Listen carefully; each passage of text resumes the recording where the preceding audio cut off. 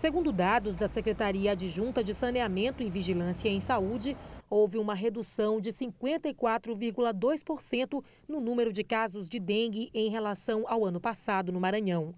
Na capital, no mesmo período, a diminuição foi de 79,3%. Em 2011, foram 182 casos graves contra 63 já identificados este ano em todo o estado. Em 2012, nove pessoas morreram no Maranhão vítimas da dengue, três delas em São Luís.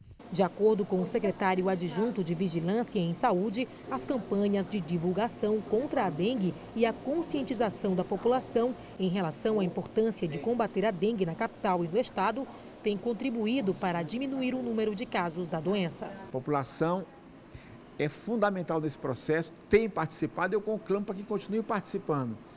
Porque uma vida vale ouro. Perder-se uma vida é perder muita coisa de valor.